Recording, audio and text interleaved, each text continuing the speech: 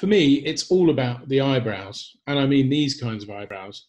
Uh, Frank Zappa, uh, a few decades ago, uh, commentated brilliantly with a quote that stood uh, the test of time and has stuck with me since I first heard it in 1998. And that was an algorithm can tell you a story, but it can't tell you the whole story because it doesn't have the eyebrows. And what he's talking about is nuance and emotion and the essence of humanity. In, in everything we do in marketing, there is a real balance to be struck between marketing uh, science and marketing art. Marketing as a science and marketing as an art. The science of marketing over the last 20 years, since Tim Berners Lee gave us the World Wide Web, has been phenomenal. The acceleration of scientific growth, the ability to measure everything, to know everything, to watch customer journeys live as they're happening, the science is phenomenal. However, over the last 20 years, I've watched myself and others in marketing and in business in general become very well educated around the scientific side, but at the price of, I think, the artistic side, the gut feel side, the emotional side.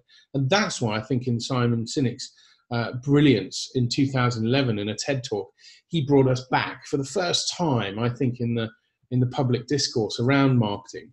Uh, he brought us back to um, the why. Now, there were people before him. Neil Crofts talked about authenticity uh, back in the mid noughties, um, but ultimately, uh, you know, Simon Sinek, I think, heralded a new age of looking at um, why we do things.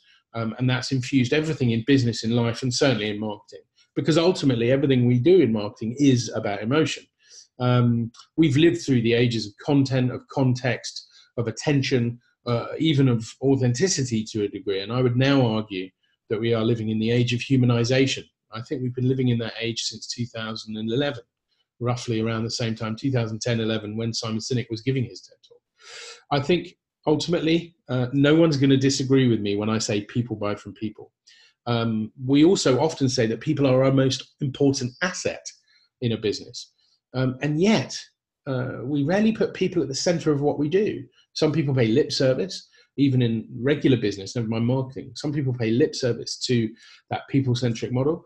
Um, but it really is uh, the key, I think, to awesome marketing and great business. Humanity, for me, is the key to our success.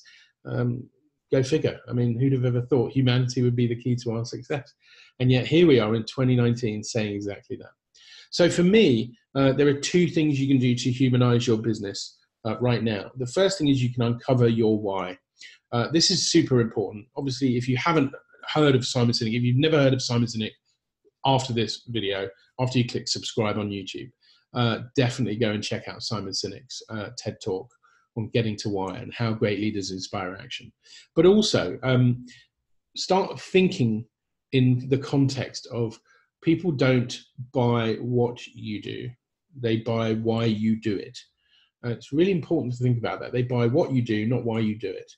Um, the why is crucial to everything. You don't have to agree with me. It's it's a given in my book but I just want you to meditate on that.